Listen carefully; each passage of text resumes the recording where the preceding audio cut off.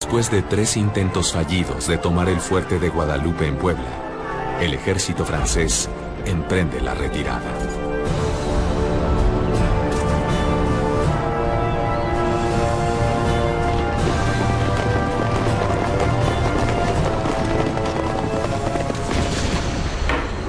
Ordena el general Díaz que regrese con su tropa.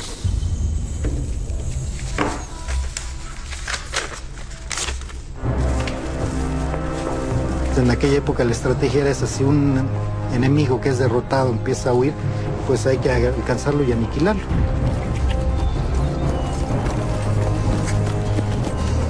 General Díaz, comunicación de mi general Zaragoza.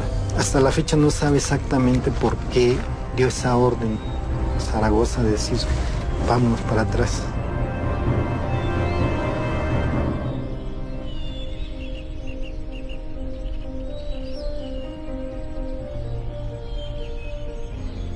Se quedó frente a Puebla casi tres días, ahí, sin que los mexicanos se atrevieran a atacarlo.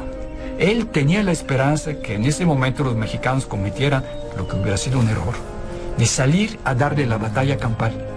Y ahí sí, un pequeño ejército profesional y aguerrido que sabe maniobrar, que sabe de estrategia, hubiera derrotado a los mexicanos. Pero muy sabiamente, eh, Zaragoza se quedó tranquilamente en Puebla.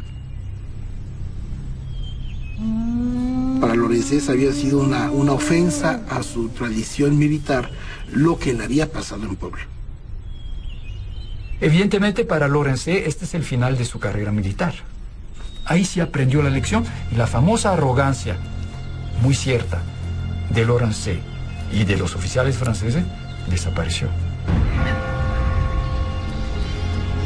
Señor presidente Juárez, punto. Noticias de campaña. Punto. Tropas mexicanas posicionadas en cerros de Guadalupe y Loreto. Punto.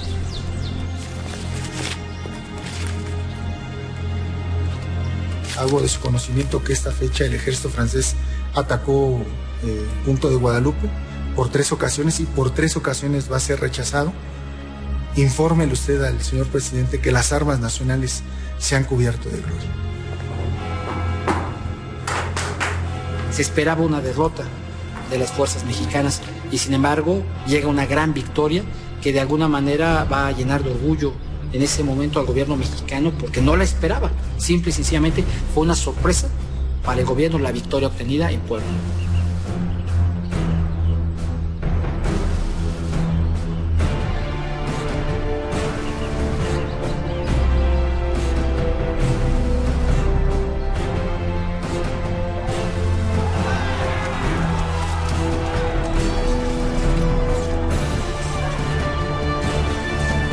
Figura de, David y Goliat, el país que eh, no tenía dinero para, darle de comer a las tropas, que no tenía soldados profesionales, derrota a los, a los soldados más importantes del mundo en ese momento.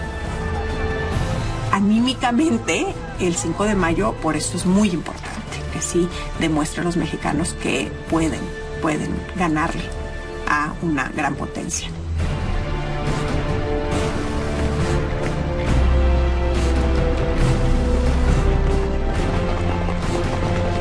El 5 de mayo fue visto como la primera gran derrota de la Europa eh, imperial en América. Esa generación de mexicanos que vieron que la patria estaba en peligro y salieron exitosos de ella, nos manda un mensaje a los mexicanos de esta época.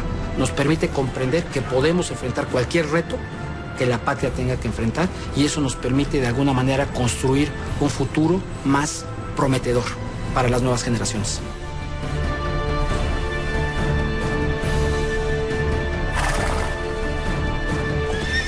Zaragoza, en su informe, dice su admiración por la valentía de los soldados franceses, la bravura y su capacidad militar, y mencionan que los primeros soldados del mundo, los vencedores de Crimea, de Magenta y Solferino en Italia, los nietos del gran Napoleón vinieron a entregar sus laureles al águila mexicana.